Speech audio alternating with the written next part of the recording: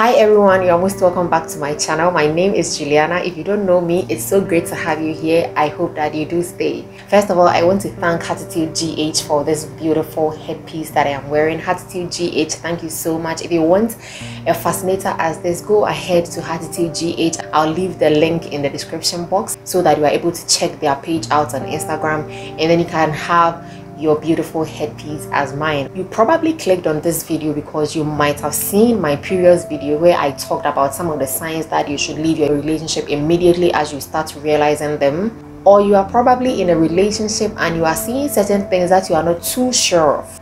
Or it is also either that you are just curious to know whatever that I have to say about this topic. So here's the thing you are the only person who knows your partner to a certain extent, no matter how short of a time you have been with that partner. I mean, there are certain things that obviously, when you see, you would realize that these things have changed nobody will tell you those things have changed. I mean, the person is your partner, and I'm going to bring your attention to some of these things that I think you need to pay attention to and be guided and advise yourself. I don't know how many people enjoy being cheated on. On I don't know if you enjoy being cheated on. Do you enjoy being cheated on?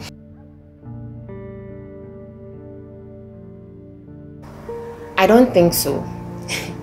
well, if you do enjoy being cheated on, all the best to you and all the best to your family. Say hi to all your family members for me because i don't know where you come from. That was just by the way. The thing is you immediately start to feel something is not right. You haven't really figured out the exact thing that is making you feel suspicious but you are just not um, right about the things you are feeling so for example you you you chat with this person all the time you're always having conversations and when you are with this person everything is so smooth and all of a sudden the person is not calling you again. The person is not really into the conversations you've been having. The person tells you that they are sleeping and you check your phone the person is still online. I mean for god knows how many hours they are online. You wake up and you still see that the person is online. Meanwhile you have both said your goodbyes. I'm not saying that goodbye simply means everybody is going to sleep. But then you ever since you met this person you know his or her sleeping hours but then all of a sudden your partner's sleeping hours have changed. It's not as if the person is, is now a student or it's not as if the person has traveled and is in a different country where the time zones are different. It's not as if the person is engaged in a particular project so things have changed a bit. Nothing has changed at all. But all of a sudden his or her sleeping hours have changed and they are not calling you as as they used to. They are not having conversations with you as they used to. I mean you it is not as if it's calls for you to leave the relationship but then why has it changed? I mean if nothing is at stake why has it changed? You've asked this person over and over again why don't you call me as usual? And the person is not really giving you a concrete answer. I mean if you haven't found anyone who is getting your attention other than you being involved in a business project or traveled i mean why have our conversations changed? I mean if it is not somebody that you are seeing why have those changed? And why am i getting the feeling that something has changed? Because i don't understand. So you know when when all these things happen I, it, you don't really know what is happening but your instincts are not making you sleep. Believe it. And start i don't know whether you're going to do your investigation but for me when it happened to me i did my investigation. And eventually i ended up finding out the truth the other thing is you go and visit this person and the person can't leave his phone even beside you when the person is going to bath their phone is with them when they are going to eat their phone is with them when they are going to wee wee their phone is with them when they are sleeping, their phone is under their pillows. I'm not telling you to go and sleep at your boyfriend or your girlfriend's house. Don't go and sleep there, you're not married. but when you visit this person, the person can't keep their phone even beside you for even a minute. When they are when they have a call, immediately they rush out. But that is not how they were. Or no, or to then the person they turn their phone upside down. They don't want you to even see the screen. I mean, it raises it raises things. Don't you know that it is raising things? Is it not suspicious to you? This is a clear sign that something they there, something is actually happening. Please, media, I don't understand. If nothing is wrong, why are you hiding your phone calls from me? I respect confidential messages, but on the regular, why are you hiding most of your conversations? I mean, you have 10 calls in a day and you're hiding about eight of them from me. And it's not as if that is how the relationship started. I have been hearing your conversations on phone. I have been seeing your phone screen. So why are you now turning your phone upside down? Why are you not calling me often? Why have things changed? You know, your instincts are not making you sleep. So when those things are happening and your instincts are really hunting you down and you keep asking your partner over and over again and you're not getting concrete answers, somebody might be occupying that position. Advise yourself. And then when your partner starts cheating, he or she starts criticizing the things they used to fancy about you. So when your partner met you, you were slim, you were fair, you were dark, but then all of a sudden they are criticizing, oh, you look too slim, you look too big, you look too dark, your hair, why is it natural? Why is it permed? If you are not seeing anybody who is making you feel the other side of my skin color. Why are you so concerned and why are you complaining about my skin color now? We are into three months into this relationship. We are five months, we are one year into this relationship. You have never talked about my hair. You have never complained about my body. So why are you now complaining? Do you want to leave me? You know? So when they start cheating on you, they want to now look at you in a certain particular way and they want to criticize you. And then when your partner starts acting emotionally distant from you, all of a sudden this person doesn't want to really see you as you have been planning to do. Maybe you normally make a visit once in a month or maybe twice in a month depending on your location or depending on whatever arrangements you have made with your partner. And all of a sudden the person is becoming emotionally distant. So I say even when you're so even in your conversations you can feel it. The person is not able to really express him or herself well with you I mean, they are not able to open up with you. They stop telling you the nice things. They stop giving you compliments. They stop telling you they love you. They even forget to wish you a happy birthday. They even forget about your important celebrations. You tell the person the date you are graduating, he or she has forgotten.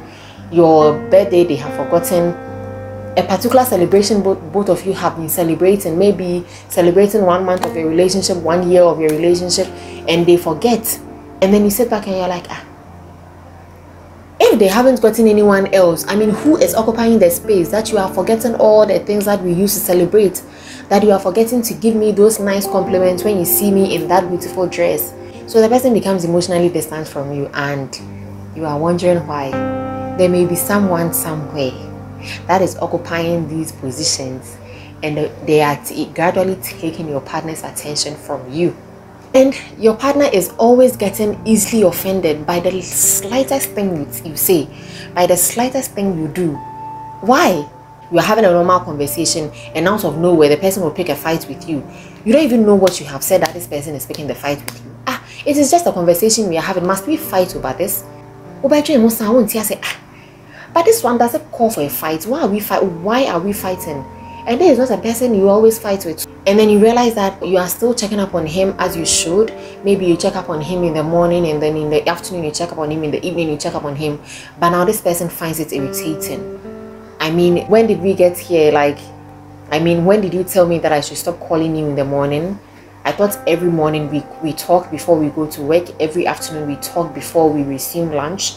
Every after every evening we talk before we sleep and then once in once a while during the daytime we talk or as for us we are chit chat mates. So why has it become all of a sudden offensive to you? Why is it irritating? If you don't have anyone that is keeping you busy that is not replacing those calls that is not replacing my calls why has it changed? If your partner picks fights with you they are irritated by the slightest thing you say they are irritated by the slightest thing you do be watchful and you know when they are offensive like that they make you feel wrong all the time. Like I say, they be on why bonny. Like I don't know how to say they be on why bonny. You are always wrong. Even if you are wrong, what is so hard for him to try and correct you amicably and and let things be and let things move. Forgive yourselves. But it is not happening. None of those is not happening. He still blames you. She still blames you for the wrong that she caused. Advise yourself all of a sudden your partner is giving you excuses upon excuses. You have planned to meet this weekend and a person gives you excuse, oh no, you can't come. I mean, some of these things, these are some of the things that I, to me, whatever they are happening, and most of the times they are true because the person doesn't give you any tangible reason why these things are happening. And funny enough, you probe further and they don't tell you anything reasonable. Now, let me tell you the experience that I had. I mean, I experienced all these things with this person. I mean, he doesn't call as he used to. It's not as if he had traveled. I mean, everything was just as it was. But then things began to change and I started having my suspicions. And this person, I asked him, he said, Oh, there's no problem. Are you okay? Maybe there's a particular issue. You know, we all go through certain phases of life and it makes us behave some way. Our mood changes, you know. But then he said, No, everything is okay. I mean, is your I asked him, Are your parents okay? Is everybody fine in your family? Is somebody dead? I mean, I was just trying to figure out what exactly it was because things were not the same as they were. And this person kept telling me that everything was okay, but deep down within me, I knew things were not okay because he was giving me he wasn't giving me the attention that he usually gave gave me. I mean, when I want to go and visit him, he would tell me I should come later. We weren't going on dates. He was always telling me that he was busy, and with the slightest thing, he would be offended. I mean, he would pick up fights with me out of nowhere and then when you're having a conversation he he will mention somebody's name I'm like hey please me they have had it and when I asked his friends birds of the same feather they also didn't say anything and well I took the pain I went there and the first thing that I realized was that he couldn't leave his phone beside me for even a second so I mean I'm kind of technology literate so I was able to I know it's wrong, but then I had to find something to satisfy myself, to calm my nerves, and to confirm my instincts that the things that I was suspecting were true. So I hacked into his WhatsApp, and then the things I saw. If you know how to hack into somebody's, I'm not the one going to teach you how to hack into somebody's WhatsApp, but that is what I did, and the things I saw. And when I saw them, I broke up with him that day. Listen like i was saying in my previous video don't wait for don't say you're giving second chances. It's not as if he didn't apologize. He did apologize. But then upon further considerations i need you i need you to be very very frank with me and i need you to be very disciplined okay grown adults we have sat down to plan our lives and you have decided to mess it up for the first time you think you you want me to believe that you're not going to mess it up for the second time I don't buy that into the idea. I do not buy that. I don't buy that. Maybe you buy that. And when it comes to relationships, I don't give people second chances. You know, we are grown adults. Let's not behave as if we are children and we don't know what you are doing. That you made a decision to be in another relationship apart from, apart from what we share. And you want me to understand you. See, do not be deceived by what people are saying. I mean all men are equal all women are equal. A man will cheat if he will cheat. A woman will cheat if he will cheat. There are still good men and women out there who have made up their minds to be disciplined enough and respect themselves to be in a very healthy relationship without having extra relationships outside there are genuine people like that. So don't buy into the idea of when your partner cheats you can forgive him and then life goes on. The likelihood that that partner that partner will cheat again is very high. And when you finally marry wahala for you.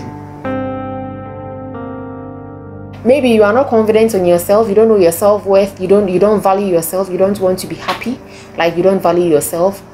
Your partner is sharing you with somebody like you don't value yourself value yourself respect yourself and work out of that relationship. If you are not confident in yourself you need to be confident in yourself. And i'm going to talk about confidence maybe in another series. But you need to know your self-worth and you need to value yourself and know your worth and be confident that you won't entertain any cheating partner in your life.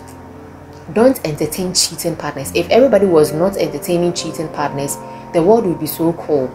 The world would be so happy and if you are a cheating partner advise yourself. Today may the grace of god fall on you and advise yourself. Nobody deserves to suffer for being in a relationship. The right person will come as i always say. Do have a wonderful day and don't forget to subscribe and share